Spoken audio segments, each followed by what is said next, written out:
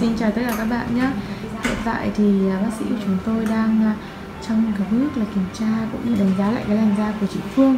Thì một khách hàng đến với cả Bali để làm công nghệ trẻ hóa da Ultra FLX 4.1 và sau khi chị Phương làm thì bác sĩ đang kiểm tra lại làn da của chị và có những cái bước đánh giá cụ thể về tình trạng da của chị ngay sau khi làm thì à, em chào bác sĩ và chị Phương ạ không biết là bác sĩ có thể phân tích rõ hơn cho mọi người đang xem biết cái hình ảnh trước và sau của chị Phương như này cho mọi người xem cái hình trước làm của chị nhé.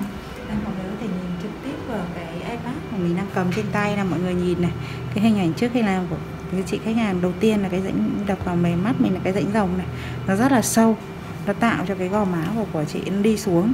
Cộng thêm nữa là cái phần mép này nó có cái vùng hai bên cái nhăn nhăn này. Và đặc biệt là cái vùng mắt này.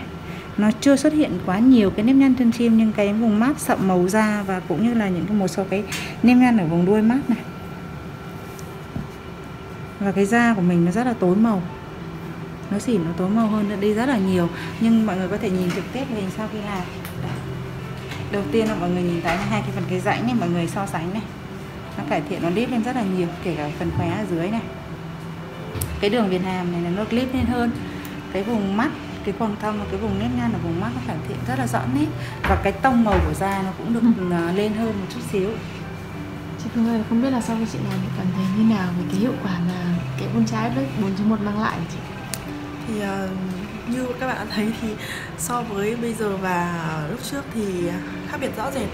Và mình thấy là sau khi làm một lần thì cải thiện rõ rệt hơn. Cái phần nếp nhăn cái cuống mắt của mình cũng uh, đã mờ dần rồi.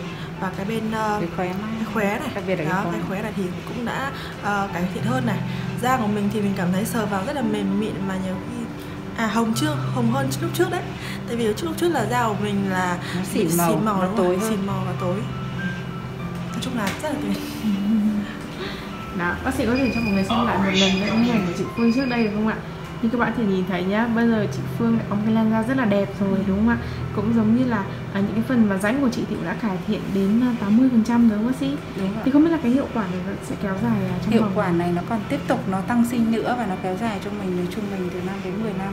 Đó. phụ thuộc vào cái quá trình mình chăm sóc da nếu mình chăm sóc tốt thì hiệu quả nó sẽ được uh, lâu và bền hơn. Đó.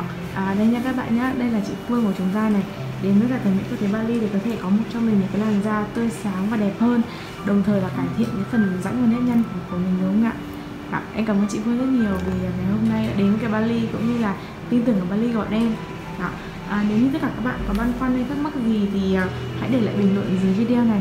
Hoặc gọi điện ngay tới số hotline là 0386 463 463 để có thể được đặt lịch cùng với chuyên gia và được đăng ký làm đẹp cũng như là à, được hưởng rất nhiều những cái đãi ngộ từ những cái Bali nhá. Có người thì xin chào và gặp lại các bạn trong những à, video tiếp theo cảm ơn chị Vân rất nhiều.